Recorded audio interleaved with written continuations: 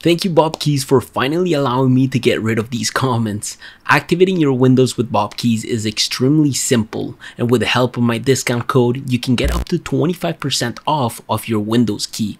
All you need to do is search for your Microsoft Windows 10 home key, add it to cart, check out, use my coupon code AV25, submit your order with your preferred payment method, and head to your purchase orders to get your code.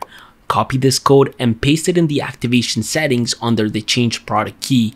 With this, I was finally freed and ready to start using my dream PC. Before you dive in there, I highly recommend using your power supply box as a grounding unit by using an anti-static strap, connecting the box to a wall socket, turning it on, and attaching the alligator clamp to the grills. I've built over a total of 10 PCs these past few years, and with the help of my new build, well, I thought it would be awesome to show you all how to case swap and upgrade your PC. Thanks to Antec and their awesome P120 crystal, I'm going to swap a few components from my Battlecruiser mid tower to my new mid tower case. So rule number one, make sure you're not downsizing cases and if you are, you need to know for a fact your new components will fit.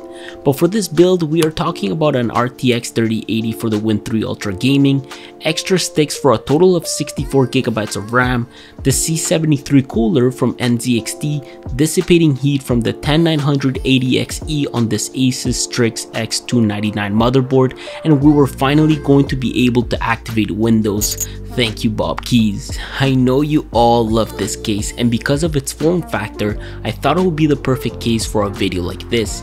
And so I unplugged my PC, removed all my USB cables and adapters and started to take apart this gorgeous build. But don't worry, if you've never taken a PC apart, it's pretty simple. All you need is to locate all the power connectors, make sure you unplug your motherboard, GPU, front power connectors most likely located at the bottom right of your motherboard, your USB 3.0 along with the HD audio cable and SATA cables by pressing down on the tab and removing it. Move on to the GPU in order to unmount it, remember to push down the tab to release the lock and unscrew it from its slot. And by this point, I recommend removing your radiator cooler or fan if possible on your air cooler. But just make sure you flatten out your case and trace your cooler's cable connected to the motherboard to eventually unplug them. Then you can easily proceed to start unscrewing the radiator but not the head yet. Also, you will most likely have to unplug some fans and head pump cables connected to the case splitters or motherboard.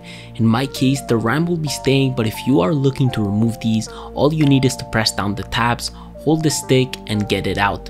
Please do make sure that if you are swapping motherboards and you are running dual RAM sticks, you are aware of the manual's corresponding channel orders to such configuration. And the last power cable you will need to remove after creating some clearance for yourself is the CPU cable. Now, proceed by locating your motherboard screws and once everything is loose, you can allow yourself to use the head pump and pull the motherboard out of the case. I recommend putting the motherboard on a cardboard and if you currently have an M.2 in place, you need to locate the panel hiding it if there is one. So unscrew the panel, unscrew your M.2 mounting screw and gently pull the memory out. Behind your chassis, you can disconnect your SSD power and SATA cable like we did on the motherboard. And at last, you can unmount the power supply's bracket, carefully untangle all your cables including the motherboard 24 pin, the CPU 8 pin, the GPU pins, and SATA cables. Don't be afraid of the mess you will encounter in the back of the power supply as these represent the power cables you disconnected at first, but you will have a problem now and that is a dirty CPU. Taking the head pump off will leave thermal paste on the CPU itself. To clean this, you can use a coffee filter and 91% isopropyl alcohol. But before we do so, I recommend lifting up your lever and removing the CPU from its socket. Then you can grab it by the corners and start cleaning all the thermal paste on it. Don't forget to insert it back into the motherboard socket by making sure you are extremely careful with the pins and aligning your arrows to your CPU dot. Don't apply any force when laying it down and if you got two retention arms, they'll be designed so one goes down first and the other one afterwards.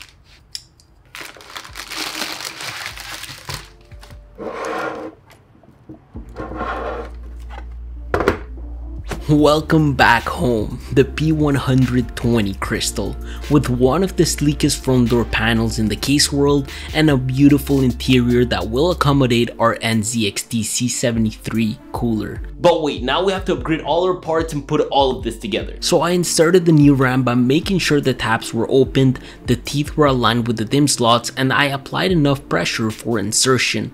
Attaching the motherboard is the reverse process of what we did, but please do make sure your new case has its standoffs already attached to it to avoid grounding out your motherboard.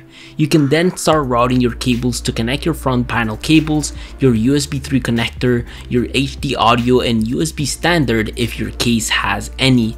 After you spend some time reading the manuals to make sure everything is well connected, you can move on to mounting all your hard drives, connect them with SATA cables and route those cables to the motherboard. Before we connect our cooling solution, it's usually a good idea to connect your 8-pin CPU connector because you will be removing this clearance with most coolers and cases. From here, you can start to plan how to connect your new cooler on a potential new motherboard if that's your case. The NZXT Z73 cooler doesn't come with RGB fans, so with the help of Antec, I went ahead and installed our own RGB fans.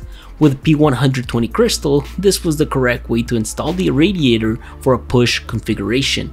And with a big LCD screen on it, we needed to connect all cables before turning it on. It does have pre-applied paste, but I went ahead and I bought some Arctic Silver 5 for better thermals. I connected the head cables, got my thumb nuts, flattened out my case, applied my own thermal paste, and aligned the pump head to screw it all the way in with the thumb nuts. Just don't forget to power up your pump with your SATA connector and parallel connect your radiator fans to the splitter. You can then connect the power pump cable to either CPU fan 1 or the CPU fan 2 sockets and the USB cable that comes with a cooler to the bottom of the board for full software control. And because the P120 Crystal has its own power supply bay on top, it made routing our cables a bit easier when connecting the motherboard 24 pin connector, the CPU 8 pins, your SATA power and all the 8 pins needed to power up your GPU. But the story doesn't end there. It's essential you take the time to properly connect your fans to the case in order to power them, connect the RGB connectors if you have some, and take the time to properly cable manage your PC. And at this point in time, it was one of the most exciting moments because I never thought I would ever own an RTX 3080.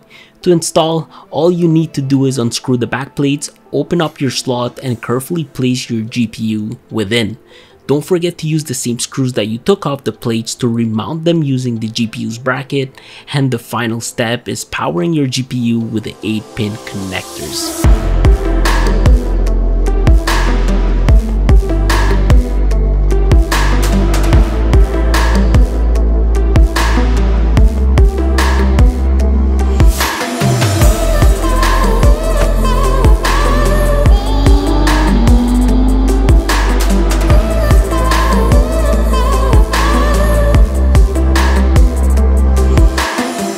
Hope you guys have found this video useful. Let me know in the comment section down below with the hashtag PCMasterRace. I'm going to be using my old PC components for a future video, so make sure you stay tuned for that. With this being said, it's time I get back to working on the M1. I will see you guys soon. Take care.